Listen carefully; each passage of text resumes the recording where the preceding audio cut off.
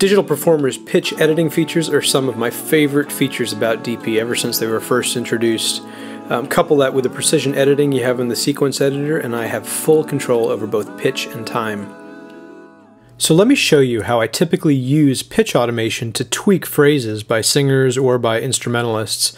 Here I am in my sequence, and I'm going to bring up the lead vocal track, which is LV comp, and I need to pull it up in the sequence editor. If your preferences are set that way, you can do that just by double clicking or by hitting Shift S for Sequence Editor. Okay, now that I'm in my sequence editor, the next thing I notice is I got quite a bit of chaos going on here because there's a lot of tracks showing, and I'd really like to just zero in on the lead vocal track. So I'm going to come over here to my track selector, and I'm going to option click the LV comp channel. What the option key does is tell DP, show only the tracks that I'm clicking on, and hide everything else. All right, now that I'm just looking at my lead vocal track, obviously it's way too small to edit, so let's fix that real quick. I'm going to use another keyboard shortcut, Command Up Arrow, which increases the vertical zoom. And then I'll also hit Command Right Arrow so I can increase the horizontal zoom and really focus in on this one phrase. Okay, now that that's nice and big, we're looking at the sound bites view, basically the waveform view of this track. Let me go over here to the layers menu and I'm going to switch it from sound bites over to the pitch layer so I can see the pitch analysis. Now, DP has already done the pitch analysis in the background by default, and you're looking at two composite views of it. The bars show where DP senses a note has been reached, while the blue lines show active real-time tracking of every minute change in pitch. So it's the blue lines are more of a micro view of what the pitch is doing, whereas the bars are more of a macro view. Last thing I'm going to do before we start operating on this is really zoom into the waveform closely. I'll go over here to the magnifying glass and let me turn that up a little bit so I can really see the minute changes within this phrase.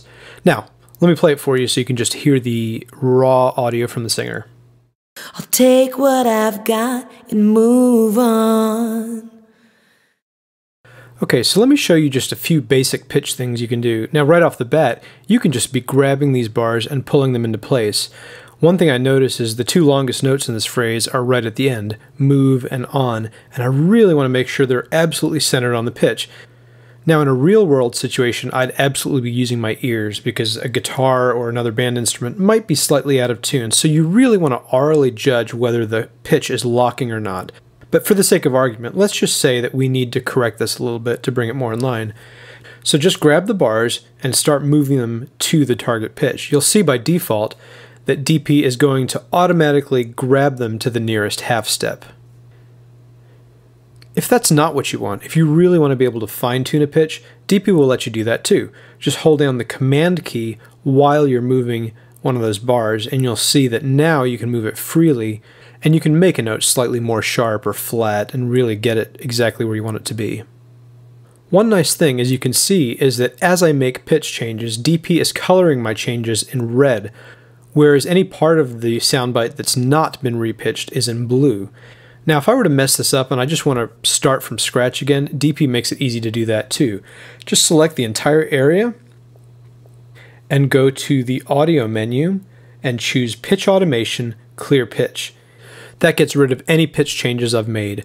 Also, it's really important to note, all these pitch changes that I'm making right now are not touching the original audio that was recorded during the session. These are non-destructive edits, so you can work with a peace of mind of knowing you can always go back to the way it was originally. Another great technique is you can actually use this to create pitches that didn't exist before at all. Watch me drag this note to a completely different pitch and then have a listen. I'll take what I've got and move on. Let's say that you'd actually like to reshape the pitch curve of a note or a phrase. That can be done easily too by using the pencil tool or one of the line tools. Let me show you the pencil tool just for a simple example. What I'm going to do is double tap the P key to bring up the pencil tool and I'm going to redraw that curve at the very end of the last note because she put a little bit of a wiggle, almost a slight vibrato there, but we can straighten that out to be pitch perfect. Have a listen to this.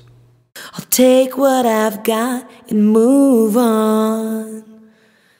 Finally, I'll show you one last technique. Let me double tap the A key to get back to my regular pointer tool. Let's say that the singer sang this entire phrase, but I just felt like the entire thing was sitting a little bit sharp. Well, that's very easy to correct in DP's pitch layer too. What I'm going to do is drag a box around the entire phrase, then I'm going to hold down the command key and I'm going to drag it slightly up or slightly down until it's repitched the way I want it to be. Just for the sake of illustration, let me move it quite a ways away, and then we'll take a listen to what it sounds like. I'll take what I've got and move on. I mentioned earlier that all the edits done in the pitch automation layer are completely non-destructive, meaning the audio on the hard drive from the original session is absolutely untouched. But what if you actually want to commit them to disk, as in maybe you need to export this file to send it to somebody else, and you want it in its tuned version? There's a really easy way to print these changes to disk, so to speak. We can go back to the soundbites layer and then select the soundbite by clicking on it once, and then either control click or right click on it, and you'll get a contextual menu.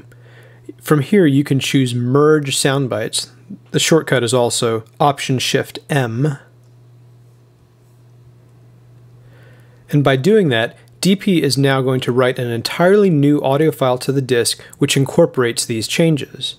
Now, if you do the same thing and right click or control click on that soundbite, you can use a new command called reveal in Finder and it'll show you that brand new written audio file with your changes hard coded into it. This typically isn't necessary unless you're exporting your file to another platform or something like that. So that's a quick overview of Digital Performer's pitch tools. Speaking personally, this is one of the most powerful tools I've found in DP because it's so well integrated. The fact that I can be in the middle of my mix and I hear a note clash, I can just switch to the pitch layer, grab its bar, move it where it needs to be, and move on with my work. Using these tools, I have complete control over the pitch of any monophonic, vocal, or instrumental track.